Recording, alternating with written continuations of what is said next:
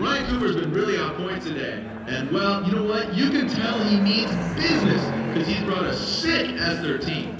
I heard he's worked six months. Seriously? All right, dude. This guy's been working on this car for six months. Dude, that's a long time and a lot of dough. But you know what? It's finally nice to see it out here on the road. So mark your calendars now, folks. Next event's gonna be. Uh, yeah, yeah. Okay, okay. Wait.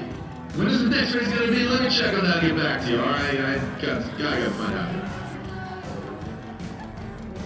Okay, okay, this is important, people. So listen up. You're gonna want a cup of Battle Machine tea. Just let all your friends know you were here. So give them all you can, because they will run out. I know they got baby tees too, so hook up your girl, man.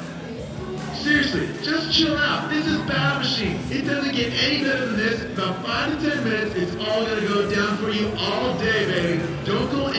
We got a lot more coming up.